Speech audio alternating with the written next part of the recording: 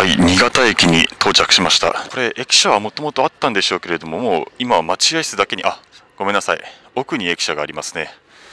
向こう側のホームからだったらあの駅舎から出てこのこっちの方はもう無人駅だからどうせホームに通じる階段作っていいやということでこうなってるんですね。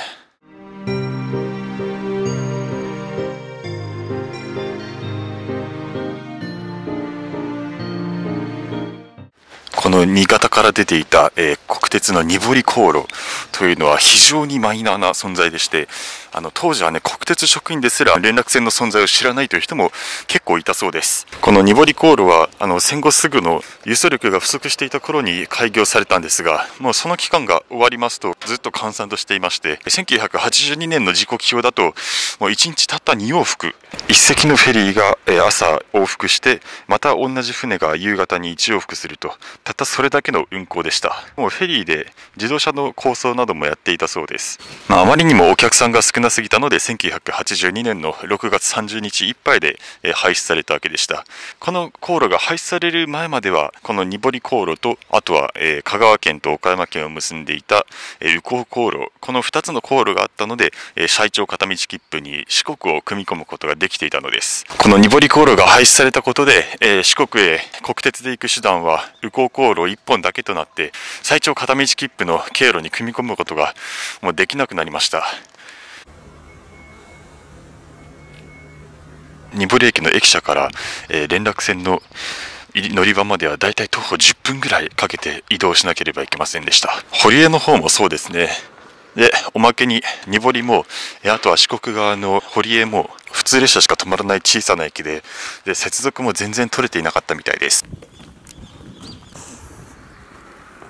この後乗るんですけれどもあの呉と松山を結ぶ民間のフェリーもありましたからね。無人駅同士を結ぶ不便な濁り航路もあんま意味がないということでもう廃止されたわけです。最長片道切符の長さもね一気に300キロぐらい短くなりましてもうそこからずっと経路に四国を組み込むことはできなくなっています。ちょうど新潟桟橋ってありますね。もう旅客船で発着しているものはありません。二堀航路とは全然関係ないとは思いますが結構ね桟橋に向けて立派な県道が伸びてますね。いや地味に立派な桟橋の建物があるな。ちょっと中に結構人がいたので入るのはやめておきますがこれがどうも国鉄のニポリ航路の桟橋だったらしいですね。向こうになんかフェリーみたいがあるのでなんか航路がまだ残っているのかなと民間であるのかなと思って調べたんですけれどちょっとよく分かりませんでした。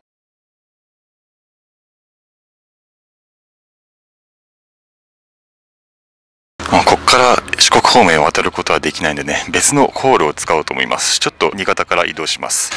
さっきの新潟駅南口から、あの、呉にバスが出ているんでね、ちょっと急ぎます。それに乗って呉港を目指します。広交差点。新潟から呉までは JR だと4駅で多分20分くらいで着くんじゃないかなと思いますが、今回はですね、面白そうなのでバスにしました。呉は坂の町として有名で、斜面にへばりつくようにして住宅街が広がっているんですが、このバスもね、それを通るということで、呉ならではの景色を楽しみながら移動することができます。早速、山越えのトンネルです。この新潟の辺りももうすでに呉の郊外住宅地みたいなところなんですが、住宅地の中にああいう山越えのトンネルを見かけることはなかなかありません。国道ということもあって結構交通量もあります。山を越えると呉市内の広地区に入ります。僕が勘違いしていなければ呉市内で2番目の拠点みたいなところがこの広地区で JR も広駅を境にして一気に電車の本数が増えますここは呉の中心部と同じぐらい平地が広くて、まあ住むのには適しているんでしょうね。マンションや一軒家がたくさん並んでいて、国道沿いには便利そうなお店がたくさんあります。おー、商店街もあるんですね。今の商店街、駅からは結構離れているんですが、え実は昔呉市には路面電車が走っていて、その停留所が近くにあった名残で、今でも商店街があの辺りにあるんじゃないかなと思います。道路の交通量もかなり増えてきました。信号待ちの時間をなくすためのね、立体交差工事みたいなのがちょうど行われていて、立派な橋脚がすでに姿を現しています。この動画を撮った2ヶ月後に開通したそうで、道路事情はどんどん良くなります。うわぁ、とんでもないところに家が建っています。まだ人住んでるんでしょうかね。よくあんなところに生活できるなとすごく感心してしまいます。さて、ずっと国道を走ってきましたが、ここから右折をして旧道の方に入っていきます。バスが通るために交差点の手前に停車禁止の塗装がされています。大きめの地方都市だとたまに見ますね。こういう停車禁止のやつってあんまり守られない印象があるんですけれど、車が通っていないタイミングでうまく通ることができました。交差点にこれから乗るフェリーの広告がね、ちょうど掲げられていました。ちょっと古くなっていますが。ちなみに国道をそのまま走り続けると休み山トンネルというのがありましてそこを一直線に突っ切って直接呉市街地へ出ることができます。2002年に開業した割と新しい道です。対してバスの方はというと割と遠回りでありつつも周りに住宅とかがあって需要がある旧道の方を今でも運転しています。バスは旧道に入ってきました。旧道は結構傾斜がきつい道なんですがそれでもしっかりと片側2車線が確保されています。これぐらいの坂道は呉の中ではそこまで大したことがないようで、普通に家が建ちまくっています。そして驚くべきことにですね、1960年代までは路面電車もですね、この坂が結構急な道を走っていたそうです。普通鉄道って坂道に弱いので、こんなところをまさか走っているとは思いませんでした。なので今乗っているバスも路面電車の廃止代替のバスみたいな感じなんでしょうかね。のり面にへばりつくようにしてバス停までの階段が伸びています。衛星写真で見ると5軒ぐらいこの上に家がありました。車道も伸びていないのにどうやって家を建てたのかが不思議でなりません。峠を越えて呉市の中心部側に入ってきました。相変わらず民家が所狭しと並んでいます。多分昭和初期ぐらいからこういう光景がずっとあったんじゃないでしょうか。呉は明治初期に海軍の鎮守府ができてから軍の町として栄えて、また戦後になっても海上自衛隊の基地が置かれたり、あとは戦艦などの造船技術を活用して鉄鋼業が栄えたりなどですね、自衛隊と工業の町として栄えてきました。しかし最近ではその工業があんまり調子が良くなくて、え特に今年2023年に日本製鉄の製鉄所が完全に稼働を停止したりしまして、今呉の人口はものすごい勢いで減っているそうです。呉市としてはちょうど今が正念場といったところですね。観光はね、すごい呉は楽しいところなので、皆さんぜひね、呉に観光にお越しいただければと思います。バスに乗り続けて呉の中心市街地付近までやってきました。国道沿いには歩道にアーケードもあって、まあ一見栄えているようには見えるんですが、今日土曜日にもかかわらずあんまり人通りは多くないです。郊外のショッピングモールに車で行ったりとか、あとは広島市内にバスや電車で行ってしまう人が多いんでしょうか。はい電車だと20分足らずで来れるかと思いますが、えー、40分ぐらい呉駅までかかりましたね。それでもねやっぱりあのお年寄りがすごくご利用されていました。あの坂の途中のバス停ではすごい密な間隔で並んでいたのが印象的でした。これが呉の駅舎。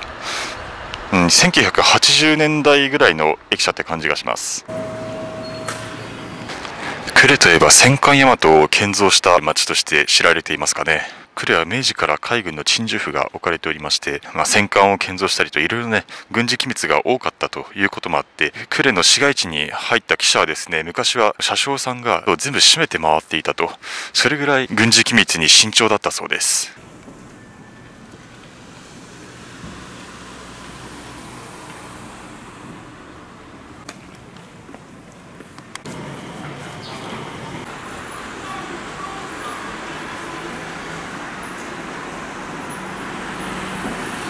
から向かう松山行きのフェリーが発着する中央桟橋までは、駅からね、だいたい歩いて7分ぐらいだったかな。といっても、ずっとこのあの歩道橋で2階を結ばれていまして、えここからですね、この夢タウンという商業施設をぶち抜いて、えずっと JR 呉駅方面まで続いています。この辺ね、全部大型の商業施設が割拠しているんですが、多分もともとは国鉄の線路がひしめいていたのか、工場があったかでしょうね。こっちにある建物が、えー、大和ミュージアムで、えー、こっちに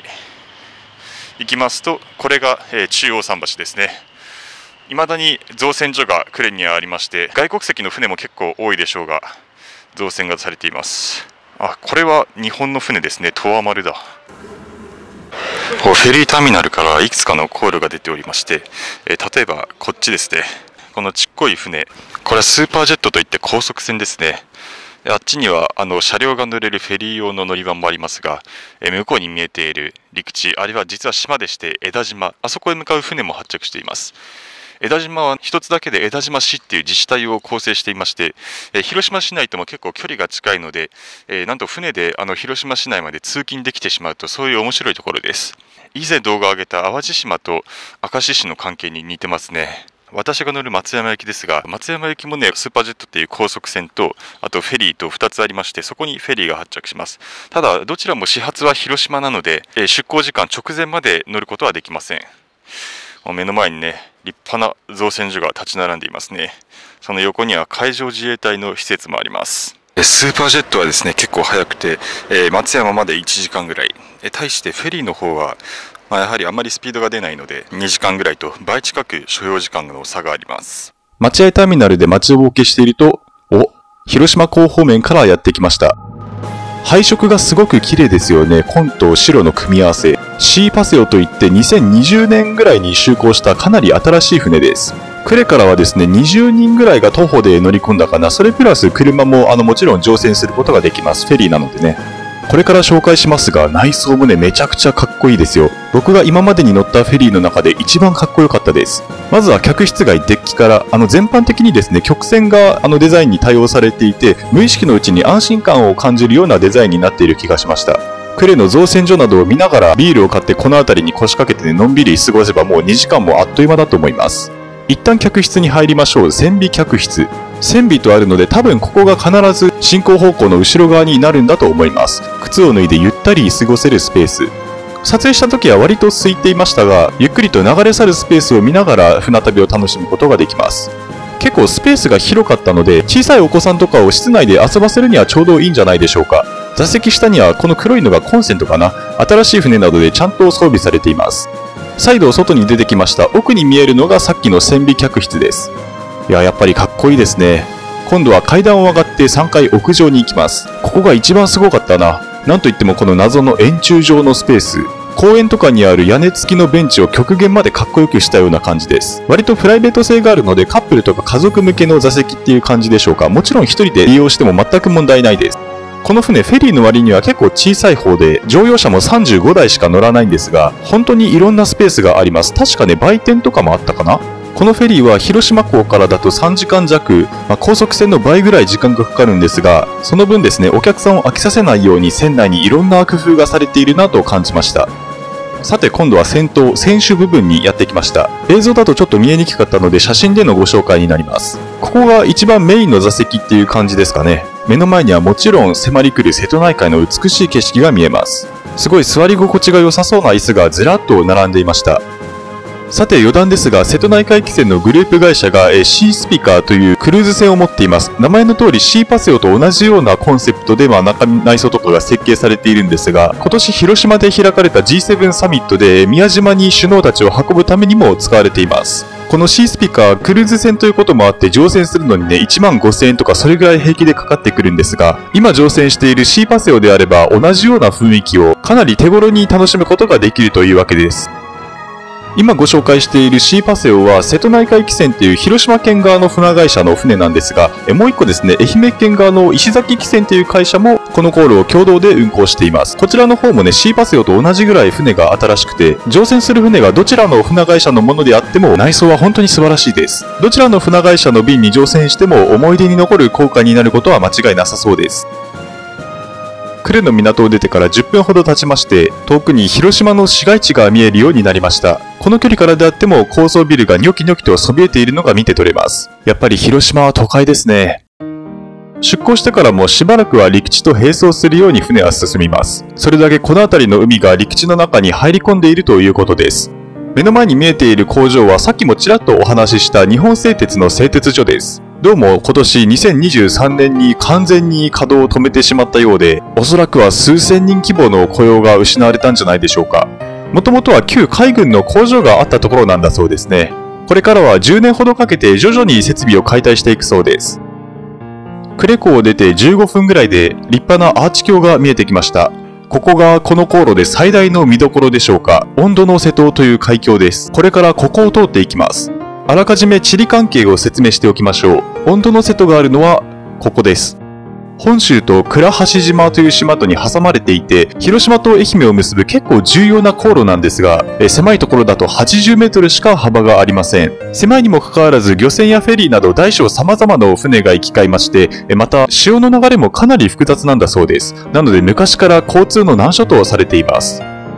今まで通ってきたクレイ湾はご覧のように周りをほとんど陸地に囲まれていて波が穏やかで停泊するのに便利そして万が一外国の船が攻めてきた時も入りづらい地形になっていますなので江戸時代まで乾村だった呉が海軍の鎮守府に選ばれたのですまた補足ですが、今回の広島呉と松山を結ぶ航路はこの温度の瀬と通りますが、新潟については呉湾に全然面していないので、日堀連絡船は温度の瀬とは通らず全然違うところを通っていました。さて、シーパセをその狭い温度の瀬戸を通過していきます。海峡には2つ橋がかかっていますが、フェリーが通ることを考えてどちらも水面からかなり高いところに橋桁が設けられています。最初にくぐったのが新しい第2温度大橋で、後にくぐったのが何もつかない温度大橋です。なんか温度大橋の渋滞が激しかったので2本目の橋を作ることになったそうですね。いや、活気があります。また最近までですね、対岸同士を結ぶ日本で一番距離が短い都線があったそうなんですが、つい最近廃止されたそうですね。いや、残っていたら乗ってみたかったです。最大の見どころ温度の瀬戸を越えたところでですねちょっと景色を見るのはやめてしまいましたここからは正直島がたくさん出てくるだけで、まあ、紹介してもしょうがないかなということでしばらく船内で休憩です座席にしっかりコンセントがついていて安心して動画の編集ができますこの美しい大海原を見ながらパソコンで作業をするっていうのはね、なんか贅沢な気分がする一方で、ちょっとこんな時でもね、作業に追われて惨めな気もするし、よくわからない気持ちになりました。さて、この航路ですが、基本的に1日9本運行があります。もう1個の高速船スーパージェットも大体同じ本数です。そして呉から乗る場合ですね、このフェリーについては朝1本以外は、えー、全て呉に停車します。一方でですね、高速船は半分ぐらいはもう広島と松山の直行で呉には止まらないようなダイヤになっているのでそこだけ注意です。高速船の話をしていると、ちょうど反対方向のスーパージェットとすれ違いました。あれは多分石崎汽船のやつですね。広島へ向けて猛スピードで走っていました。1時間ほど編集に没頭しまして、気づいたら四国がすぐそばまで迫っていました。というかもう横が四国ですね。予讃線の伊予北条駅とかその辺りだと思います。穏やかな瀬戸内海ということで、パソコン作業しても全く酔うことなく移動することができました。やってきた方向にズームしてみますが、もう島に遮られていて、呉は見えなくなっています。さすが瀬戸内海です。最後の20分ぐらいはもうずっと四国と並走します。高縄半島といって松山の北の方でちょっと飛び出た部分です。山が海岸線のすぐそばまで迫っていて、そのおかげでこの辺りの JR 予算線はすごくね、景色がいい区間になっています。ズームしているこの辺りがおそらく堀江駅周辺、二堀航路のもう片方の桟橋があった辺りです。この後ちゃんとそちらにも行きます。進行方向右手、西側に広がっているのは、これは島です。五後島と言います。初見では絶対に読めないですね。この辺りに広がる忽那諸島の一つで、他の島ともども高浜港からフェリーが出ています。はるか遠くの方にガントリークレーンが見えていますね。松山の工業港です。このフェリーはあちらの方までは行かず、手前の松山観光港というところまでです。割と歴史が浅い港で、大型船を着岸させるために作られました。お、ちょうど福岡県の小倉行きのフェリーが止まっています。こちらは夜行フェリーです。以前ね、乗船したことがあります。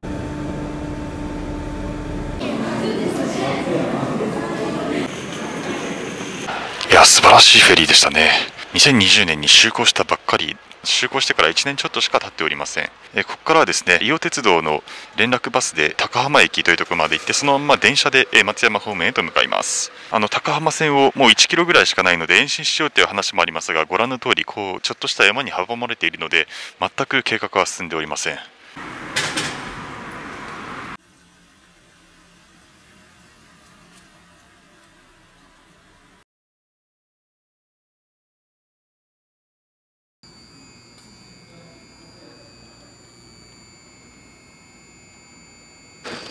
電車の始発駅の高浜駅のすぐ目の前からもですねこの松山に割と近い島々への連絡フェリーが出ております。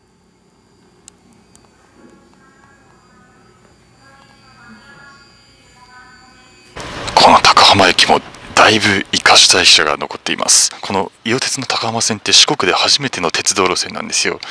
開業当時の方だとしたらすごい駅舎です。普通に現役で使っております。そこに連絡バスの乗り場があってそのまま階段を歩いてもうすぐこの電車の乗り場まで来ることができます。伊予鉄はどんなに長くても4両編成までしか電車はありません。早朝深夜を除けばね15分に1本の間隔で運転されていますちょっと高浜駅であの高速バスの乗車券を予約してもらっていたので1本遅い便になりましたが連絡バスと電車は10分ぐらいで接続していまして非常に便利です今いるのが、えっと、これか高浜駅バスで連絡してやってきました。ここからどこに行くかと言いますと、いきなりですね、ニホリコールの片の終着点、堀江駅までは行かず、一旦この、え2つ進みまして、港山というところまで行きます。このね、三津っていうところが非常に古くからの港町でして、え戦争の被害とかもなかったんで、かなり古い建物が残っているんですよ。ちょっとそれの見学をしようと思います。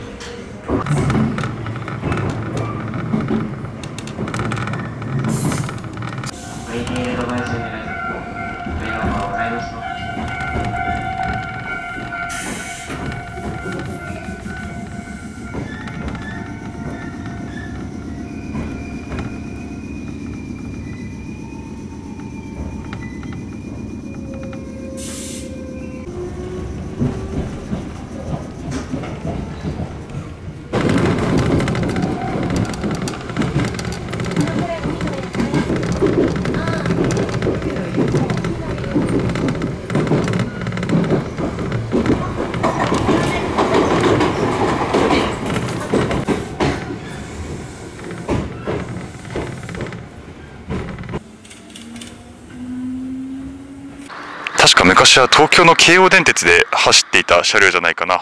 伊予鉄は中古車を基本的に使っております。港山駅、この三津浜の最寄りはこの三津駅なんですけれどもね、ちょっと面白い方法で三津に向かおうと思いますので、ここで降りました。いやしかしさっきの梅新寺駅は素晴らしかったですね。一回降りてみたいですけれども、あ、一部の駅のを除いて無人駅で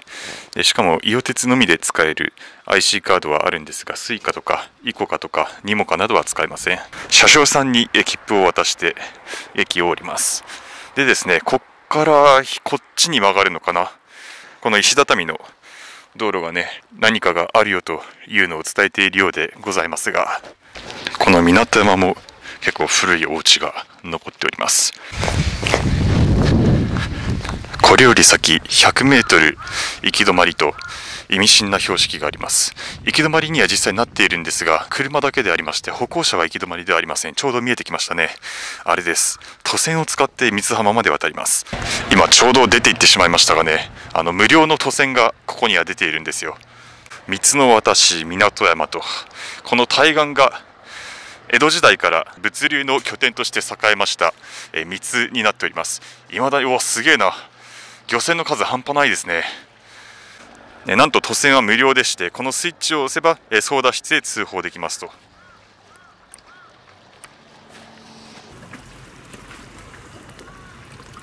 たった今、ご高齢の方を3つの方に渡していきましたね。直後で申し訳ないですが、また折り返して来てくれました。ここは向こうの方まで橋がないのでね、こういうふうに都線が今でも交通手段として生きております。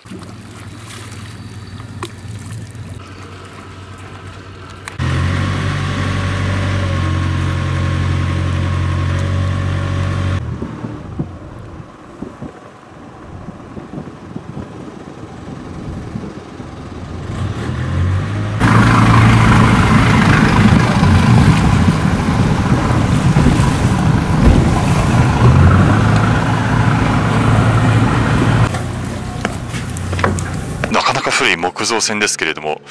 元気に活躍しております。うわ、すげえな。エアコンの室外機みたいなやつが木の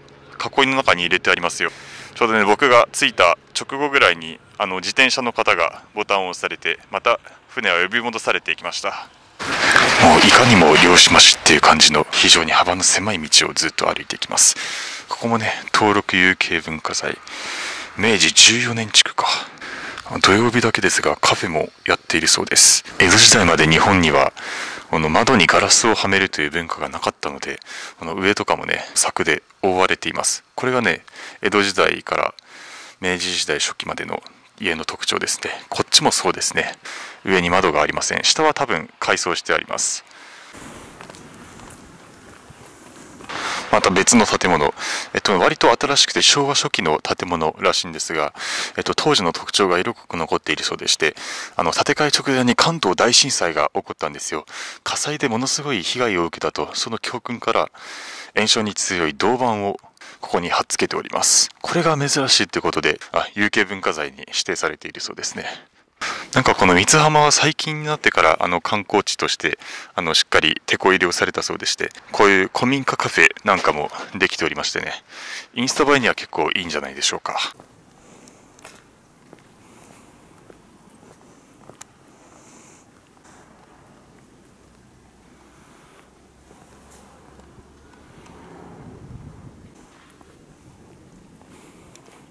僕も初めて来たのでどのルートを通れば間違いないっていうのは全く言えないんですが普通にねあの小道に入ったらこういう多分明治か江戸ぐらいからあるようなこれは醤油の蔵かな？そういうのが残っていたりですね。この遠藤味噌醤油さんの辺りが一番活かしている感じになっていますがちょうどね三津出身っていうご婦人とちょっとお話ししたんですけれども普通に歩いていればどこにでも古いものが残っているということでね。まとめサイトとかでここは行っておいた方がいいみたいに載っている建物が多分いろいろあると思うんですけれども全然そういうのを見,、ね、見て予習とかしないでもね普通にこの道の街中を歩けばこういう古い建物にたくさん巡り合えるそういうところです。この目の前の建物一見すると地味ですけれどもよく見るとこれは明治末期か大正初期ぐらいかな。そういう感じの建物が平然と残っております。港山駅の隣駅三津駅があれなんですがそこからこうねずっとまっすぐ商店街みたいな通りが伸びておりましてまあここを歩くのも一ついいと思います。こっちにもね結構昔からの建物残っていますからね。ただこういう駅前からずっと続く通りというのは、まあ、昔は結構栄えていたので昔の建物から建て替えられてこう新しい建物が増えていたりしますのでより奥に入った方がいろいろ出会いやすいんじゃないでしょうか。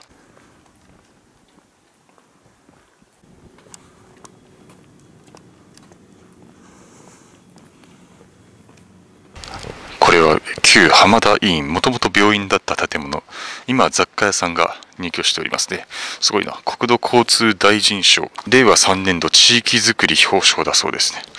あこれはいいでこう電球があって夜になるとすごい綺麗でしょうねここ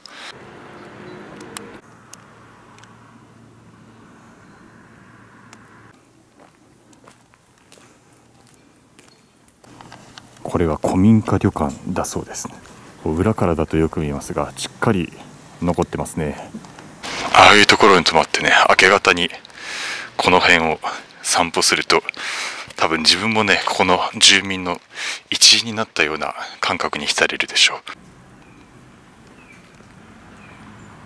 さっき降りた港山駅と隣の三津駅までやってきました。一番最初に建設されたのは松山市駅とこの三津駅の間でしてそれだけですねこの三津が松山の海の玄関口として非常に重要だったということが伺えますまあ、ただですね、三津の最寄り駅はもう1個ありまして、さらに三津の港町から離れた方、歩いて10分ぐらいですが、JR の三津浜駅があります。あ、三津だと結構近いですが、この JR の三津浜駅だとね、歩いて15分ぐらいはかかるでしょうか。伊予鉄の方が建設されたのが、えー、1890年代なのに対して、こっちの JR 昔の鉄道省予算線は1920年代なんですよ。結構時代が空いています。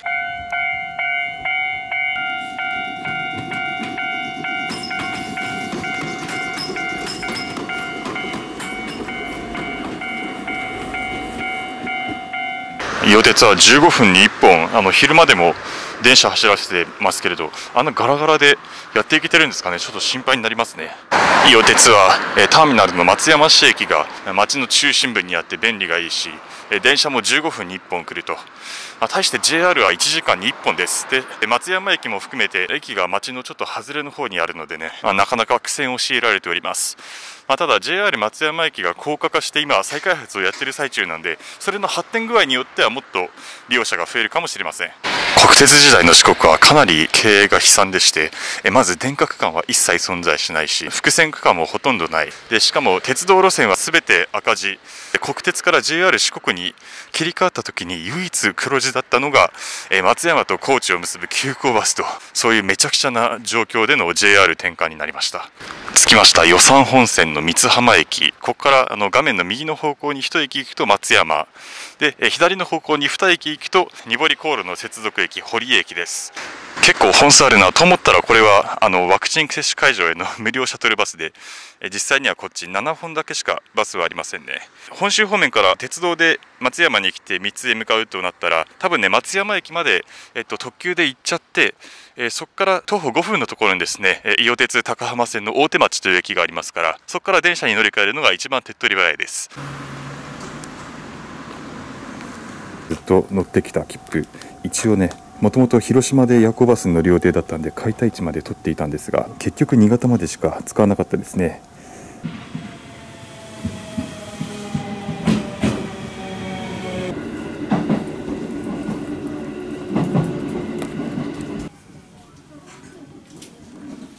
予算線はここから先ちょっとね景色が綺麗な区間があるんですけれどもね史上最長片道切符の旅ではそちらまでは行きません。はい堀江駅に到着。56年ぐらい前に実は一度来たことがあるんですよ。その時は連絡船のことは全然関係なく普通にタクシーで送ってもらったんですけれども何にも変わらないですね。この貨車を改造した待合室があります。意外と時間帯によってはあの朝とかすごい本数が多いですね。30分に1本ぐらいありますが14時台ぐらいになると途端に全く電車がなくなります。すごいな JR 切符発売所簡易宅駅といって駅前の商店とかにねあの切符の発見を JR が依頼したりするんですがその時の看板が残っております。この堀江駅も連絡船の鳩場とはかなり離れておりましてここから徒歩で15分ぐらい歩く必要があります。ごめんなさい10分ぐらいで普通に行けちゃいますね。はい、歩いて10分足らずで濁り航路の跡地にやってきました。ちょうどあのバスは松山市駅から直通でやってこれます。ちょうどタイミングが良かったな。非常に絵になる港の景色ですね。もう今は普通の公園みたいになっているんですが、こっちの方にね、ちゃんと記念碑があるんですよ。濁り航路跡。国鉄本社船舶部の次長と国鉄の本社はさすがに濁り航路の存在は忘れていなかったみたいです。ただそれ以外の説明書きとかはね何もありませんでしてまあここにありましたよということは一応伝えてくれております。多分この辺にあの甲板と連絡する桟橋みたいなのがあったんでしょうね。あれは多分違うと思いますけれど今はねちょっとした道の駅みたいなのができておりまして地元の人が釣りに勤しむごく普通ののどかな港になっています。あ多分これですね。ここに不自然にあのガードレールがありますけれどもこの先があの車両甲板に続いていたんですね。あなるほどね。奥の方に陸地が見えますがあれは本州ではないですね。具体的な名前はわからないですが島だと思います。やっぱり瀬戸内海は波が穏やかだわ。全然波のバシャーっていう音がしないですわ。これは四国の人たちもみんな優しくなりますよ。この堀江にも結構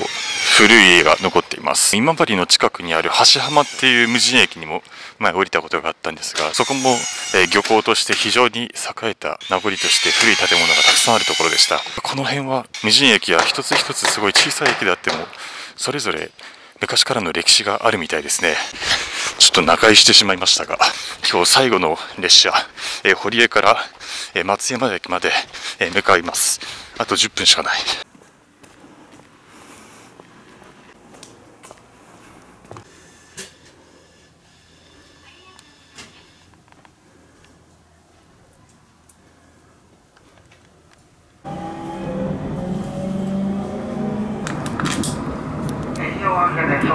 左側です。行きのため日本書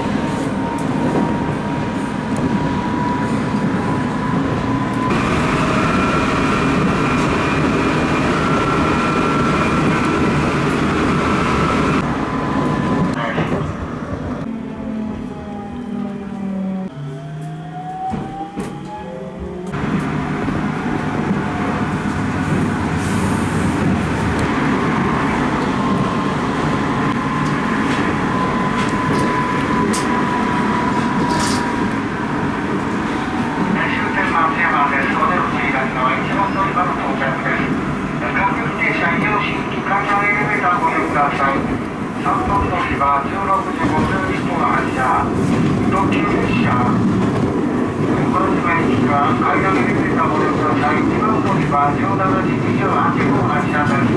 ご乗車ありがとうございました。終点松山です。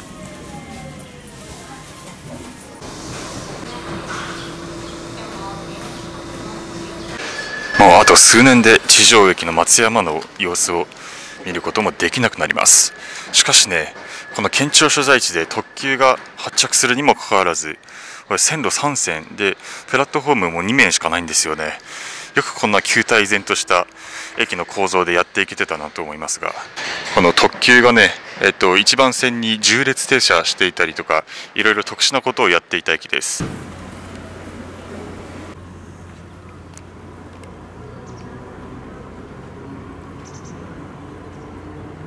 JR 松山駅はレトロすぎるんじゃないかってぐらいレトロであのそこのバス乗り場とかもね屋根も少しずつちょっと色あせておりますしそこの電光掲示板ですらちょっとレトロな気がしてきます。ということで12日間やってですねやっと6分の1とかそれぐらいですよ。いやこんなに時間かかるんですね。この史上最長片道切符の旅は、えっとこの辺で一旦ストップにしておこうと思います。あのもしですねこの動画シリーズが皆さんからご好評いただければ、えっと、続きを、まあ、やろうかと思いますしもしあの全然伸びないとなればですねちょっともう YouTube やめてあのしっかりまともな職に就こうと思います。しっかりね手に職をつけたいと思います。もしねしっかり定職についてほしいという方いらっしゃいましたら低評価ボタンを押してください。まさすがにそれは冗談ですけれどもあのぜひね高評価ボタンを押していただいて、え知り合いの人にもあの勧めていただければと思います。ではご視聴ありがとうございました。